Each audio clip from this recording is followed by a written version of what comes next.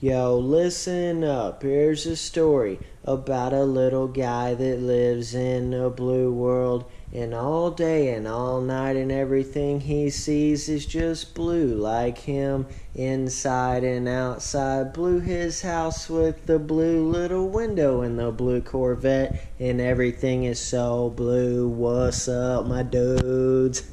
So we got Yamahas, baby. Yammer Slammers, you know what it is.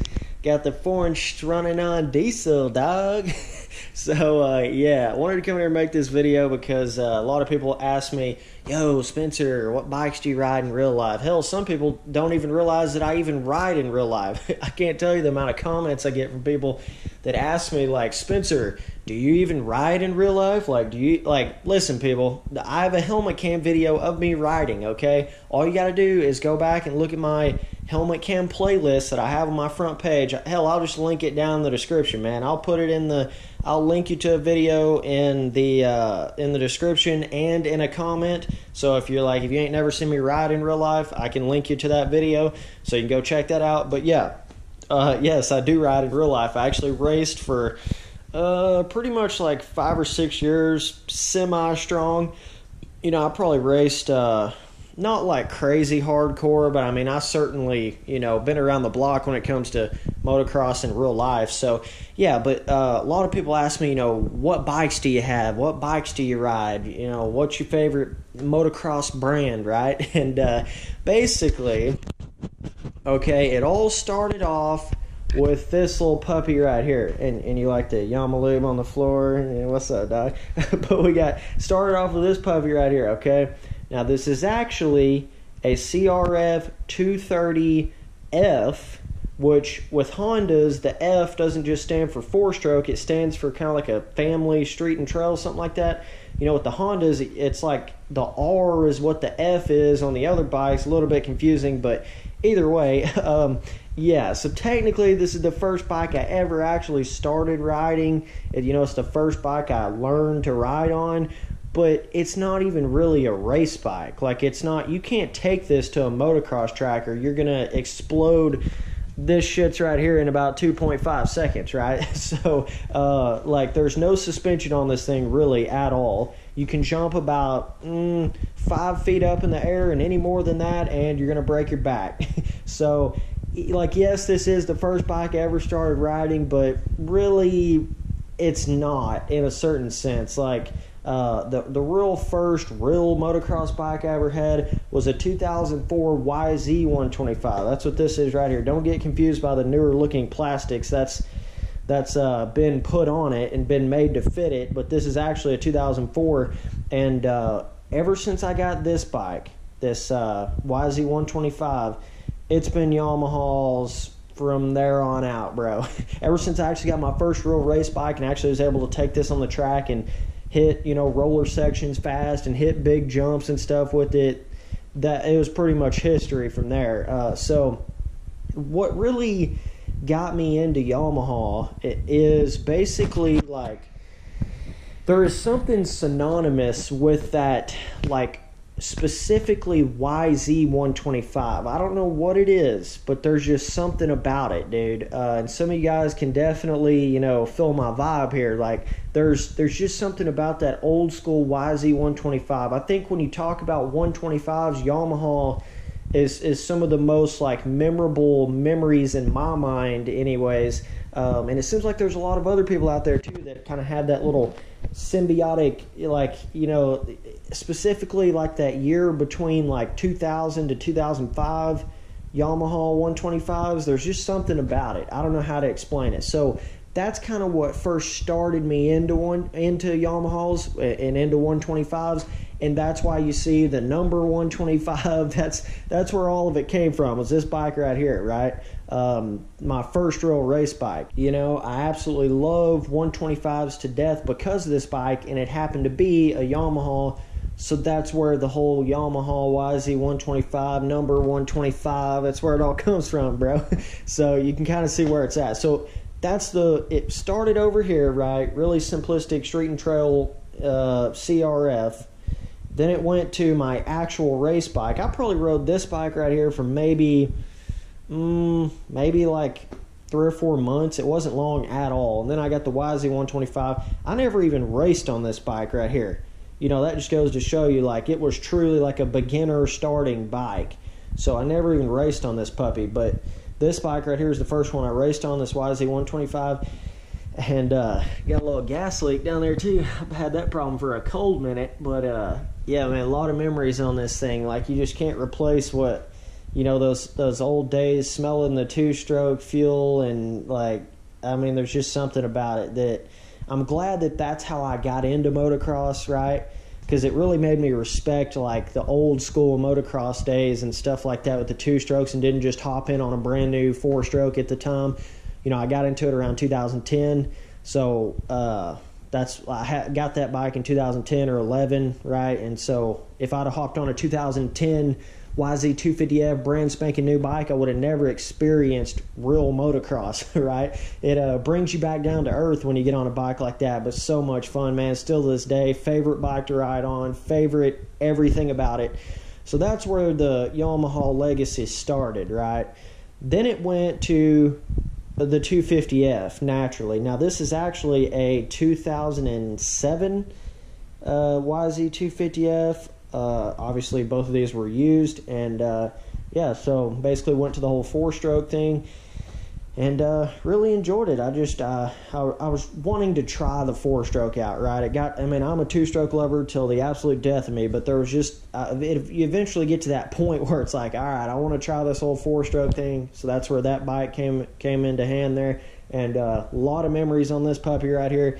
I, I, felt like I was able to do a little more on certain tracks with this bike. I was able to learn tracks a little bit quicker, not have to have as much, you know, shifting control. You know, it is with a 125. You got to be right on the money when you're shifting that thing, especially big jumps coming out of corners. A little bit easier to do it on this bike. You don't have to be right in that perfect gear everywhere. So it's a little bit more simple with this, but never forget the good old days. I'll always love this bike and I plan on making some more videos riding on it Stub 125 riding videos. They're going to be coming soon, don't worry. So raced a crap load on this. This was like in 2012, 13, 14 even racing. My main racing years was these two bikes right here, right? And all of them's got new plastics on them, right? None of these are none of the plastics that came on these bikes when I first got them because I either broke the front fin. I had some old school cool like fenders that I put stickers and stuff on for this. I still have it over there somewhere, but um, you know, I'd I'd break the front fender, break back fenders, popping wheelies. So eventually, it just got to the point where I put all new plastics on all of it. So either way, then like in 2014, I bought a 252 stroke YZ. Okay, uh, and this thing. Uh, the power of this is awesome. It really is. I just I, there was something about 252 stroke. I really wanted to experience that and have that whole experience. Like you just naturally go YZ 125, YZ 250F, YZ 252 stroke, right? But now, if I ever really want to ride this bike hardcore, I'm gonna have to do some major suspension work to it. There's some stuff, little issues it's got. Um, you know, there's just some things I'm gonna have to fix on it, and uh, it's really all that comes down to it. Uh, the guy that had it before me did some different modifications to it, so I'm gonna have to do some stuff with it to get it, you know, really working like I want it to, um, and then then I'll be able to ride that bike like I want to. Just just gonna if I ever have any super extra money laying around, I'll, I'll uh, get that bike fixed up where I can totally ride it. But yeah, that's YZ. That's 2005 252 stroke right there. So we got that on deck. This baby right here, okay, the finally got a new bike, right? I was kind of debating on getting a 450, and then I was like, eh, I ain't really trying to do all that. I mean, I could have had the whole YZ 125, YZ 250F, YZ 252 stroke, and YZ 450 four stroke, but that I just. I really like the way the 250s was in 2016, and that's what this is right here. I really like the whole design around it, and I wanted to experience that new 250F, and I'm you know, I really wasn't even to like the weight or the height or the, you know, everything body wise to really need a 450 or anything like that. And I just really didn't even want one. I would rather be on a 250 right now, anyways.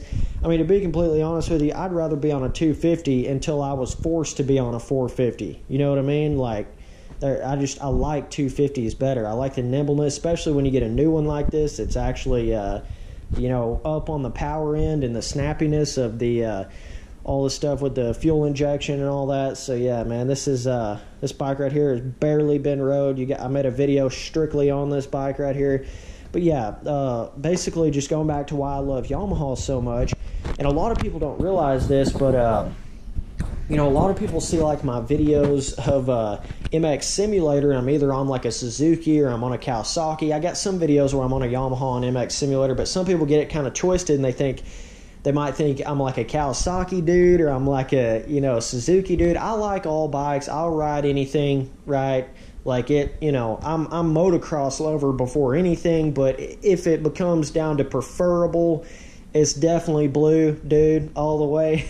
uh, but uh, you just you, you grow a certain love and an attachment to certain things and reasons why and stuff like that. But uh, the reason why I don't run a Yamaha and MX simulator all the time is simply because the way they the way some of those custom front Yamaha fenders are in that game, I can't turn very good with them, and that's just the way it is. And so that's why you see me either on a Suzuki or a Kawasaki. So if they'll come out with a good Yamaha front fender for MX Simulator that I can actually use in the game, then I'll be on Yamaha. Right? That's why you see me on Yamaha and but basically every other motocross game that I play, like MX vs ATV Reflex, All Out, all that stuff. I'm on Yamaha's Fisherman Supercross game I'm on Yamaha. So when it comes to MX Simulator it's just a lack of good front fenders that have been made in the game that I feel comfortable enough on to run that as my actual thing there. So either way, uh, yeah, man. But another big reason why just the whole Yamaha, I'm such a two-stroke lever, right?